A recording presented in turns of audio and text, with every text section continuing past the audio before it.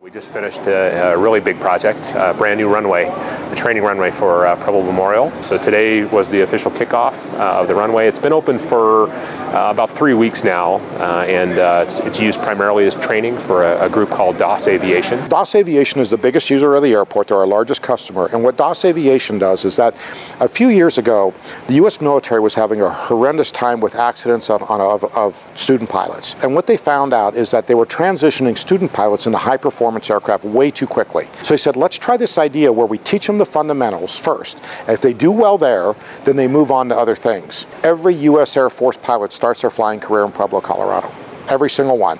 So now you come here, if you're a, you're a pilot, you come here, you, uh, you learn to fly your aircraft, and then you move on to jets. So this new uh, new runway is uh, is specifically designed for that. These folks run about 150, 160,000 operations a year at the airport, which makes us the third busiest airport in Colorado. So They're going to increase operations because of this new runway. DOS is on a 10-year military contract with a renewal every year. We want to keep them here. So we have a true through the fence operation. DOS has their own hangars, their own ramp, and then they actually taxi through a gate in the fence to access our airport. What it does is it takes the DOS component, it puts them out away from where the general avi aviation component wants to come into the airport. The, the, runway really takes that component and moves it away, creates a lot of runway safety here, and really encourages pilots uh, who want to just fly on the weekend. They really want to come down here and, and see something new.